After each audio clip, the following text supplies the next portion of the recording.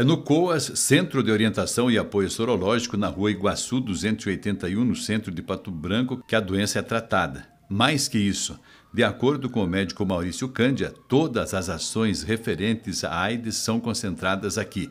O primeiro caso de AIDS foi registrado em São Luís, nos Estados Unidos, há 50 anos, em 1973. Nos anos 1980 foi o grande boom em todo o mundo de casos de AIDS. Depois, devido a muitas campanhas dos governos e de ONGs, houve uma diminuição nos casos.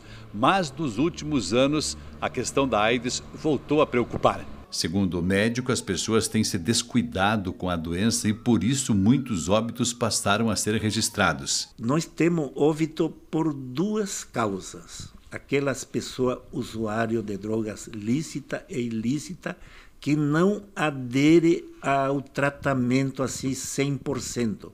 Então, isso nós temos que trabalhar mais. E outro, um, assim, um pedido assim para a população que o diagnóstico tardio. Aqui nós perdemos paciente por diagnóstico tardio. Então, a recomendação ali é toda relação sem uso de preservativo deve ser seguido a uma testagem. Ou seja, teve relação sem proteção, tem que fazer exame.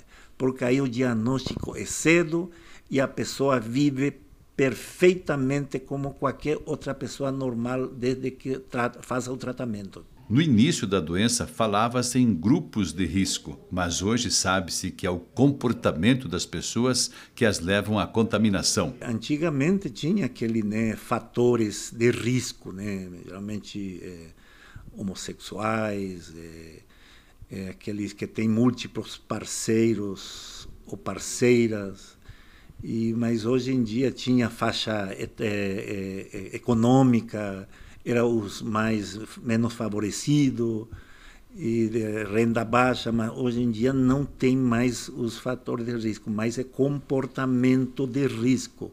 O que, que é comportamento de risco? Ter relação sem preservativo e múltiplas parcerias se sem usar o preservativo. O médico chama a atenção para o preconceito para com as pessoas que têm HIV dentro da própria família. Às vezes isola alguém da família lá no fundo da casa. Aí. É, HIV se transmite por relação sexual. Ele não se transmite por colher, garfo, prato, xícara, copo, senão vai ser mudado de nome. Vai mudar por é, doença transmitida por copo, por garfo. Então, isso é história. E, por favor, aquele que tenha assim, a sua família isolada, porque aí essa pessoa se sente mais rejeitada ainda. O lado positivo é a evolução dos remédios. Antigamente, um coquetel de medicamentos com muitos efeitos colaterais. Hoje, menos remédios e mais eficazes. Podemos falar assim com muito orgulho aqui no nosso país que é um dos melhores esquemas que existe atualmente de resolutividade e de pouquíssimo efeitos colaterais. Nós usamos sempre três, não é, não é sempre, quase sempre é, três antirretrovirais. Um já vem coformulado e o outro vem sozinho. Então, dois comprimidos ao dia.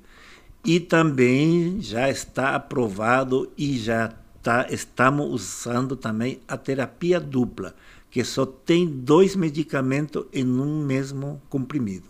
Evoluiu muito a questão da medicina. Perfeitamente, muito e para melhora.